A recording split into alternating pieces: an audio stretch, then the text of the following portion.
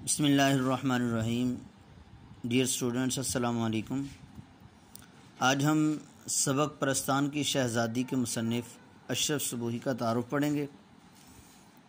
अशरफ सबूही का असल नाम सैयद वली अशरफ और कलमी नाम अशरफ सबूही था। कलमी नाम से क्या मुराद है? कलमी नाम से मुराद जिस तरह से शुरा हजरात अपने कलाम के अंदर, अपनी गज़लों के अंदर, अपने अशार के अंदर एक ख़ास नाम इस्तेमाल करते हैं, जिस तरह असदुल्ला ख़ान गालिब, इन्होंने अपना तखलस गालिब रखा। शेख इब्राहिम ज़ौक़, इन्होंने अपना तखलस ज़ौक़ रखा। मौलाना अलताफ़ हुसैन हाली, इन्होंने अपना तखलस हाली रखा। अब कलाम में जहाँ भी कोई ख़ास नाम, मसलन हाली लिखा होगा तो कहीं गालिब लिखा होगा, कहीं ज़ौक़ लिखा होगा लिखा होगा। ये शरा का ख़ास नाम है। ख़ास जो है वो अपने कलाम के अंदर इस नाम से अपने आप को मुतारफ़ करवाते हैं। इसी तरह मुसनफ़िन की भी आदत होती है कि मुसनफ़िन हजरात जो है वो अपना एक नाम रखते हैं, अपनी तहरीर, अपना कोई मजमून कोई चीज़ लिख कर कोई कहानी वगैरह लिख कर तो कोई किताब लिख कर अपना एक ख़ास नाम रखते हैं, उसको कलमी नाम कहते हैं। तो इनका कलमी नाम जो है वो अशरफ सबोही था। तो अशरफ सबोही दिल्ली में पैदा हुए 1905 में, इब्तदाई तालीम घर पर हुई। हुई 1922 में Anglo Arabic high school Delhi से मैट्रिक का इम्तहान पास किया। मरूफ अदीब शाहिद अहमद देलवी इनके हम जमात थे। अदीब अदीब लिटरेरी आदमी को अदीब कहते हैं। मतलब जो लिटरेचर को जानता हो। अदब लिटरेचर को कहते हैं।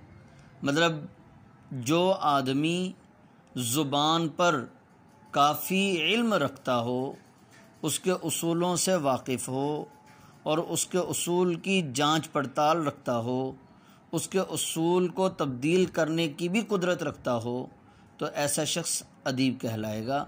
और इंग्लिश में हम इसको लिटरेरी कहेंगे।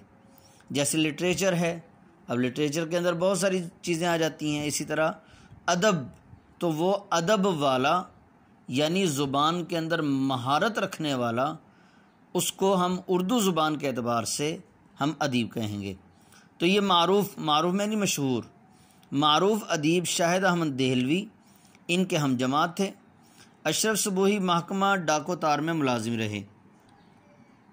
डाकोतार, जिस तरह से आजकल जो है वो ख़त वगैरह का इंतज़ाम होता है, खतूत जाते हैं, डाकिया लेकर जाता है, पोस्टमैन लेकर जाता है। इसी तरह पहले ज़माने में भी एक सिलसिला था, जिसको यही डाक का निज़ाम है, इसका एक नाम तार भी है। मतलब ये है, जिस तरह ख़त जाता है, इसी तरह हम कहते हैं जी, तार आ गया। तो डाको तार मतलब ये ये डाक का ही एक निज़ाम है। तो अशरफ सबोही पहले डाको तार में मुलाजिम रहे। बाद में ऑल इंडिया रेडियो से वाबस्ता हो गए। क़्याम पाकिस्तान के बाद लाहौर आ गए। उन्नीस सौ पैंसठ, नाइनटीन सिक्सटी फाइव में मुलाजमत से सबकदोश हो गए। और हमदर्द दवाखाना के शोबा मतबूआत से वाबस्तगी इख्तियार कर ली। शोबा मतबूआत मतलब जो उसका जो शोबा प्रिंटिंग का शोबा था, जहाँ पर किताबें वगैरह छापी जाती थीं, किताबें वगैरह लिखी जाती थीं उनको बाकायदा प्रिंट किया जाता था, उस शोबा से ताल्लुक़ अपना इख्तियार कर लिया, वबस्तगी ताल्लुक़ इख्तियार कर लिया। अशरफ सबूई एक साहिब तर्ज अदीब अदीब थे।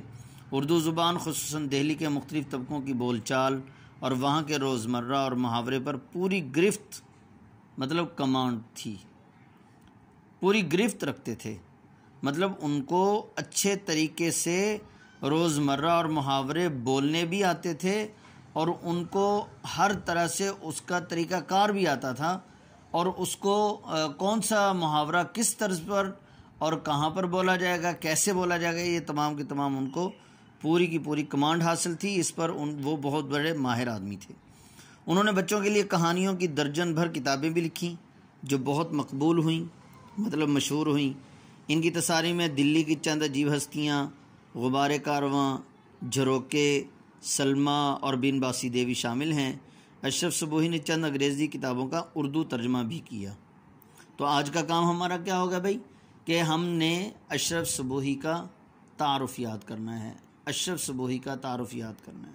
अल्लाम वरहमल